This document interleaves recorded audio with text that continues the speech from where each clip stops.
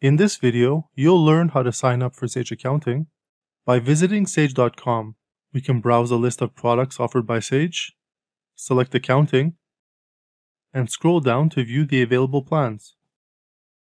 If we're running a business on our own and looking for entry-level accounting software, then Accounting Start is a great way to begin our accounting journey.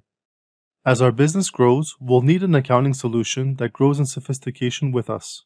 Accounting Standard expands on the set of features as our business becomes established. Accounting Plus can help us manage multiple currencies to create foreign currency transactions and start tracking our inventory to better manage our stock items. It's important to note that although we can begin using Sage Accounting from any of the plans available and choose to gradually upgrade, we however cannot downgrade plans. So let's continue with signing up. We'll provide our email, name, create a password to secure our account, and verify our email address with the code that we'll receive. Once our account is set up, we'll continue to set up our company file and start working with our Sage Accounting company.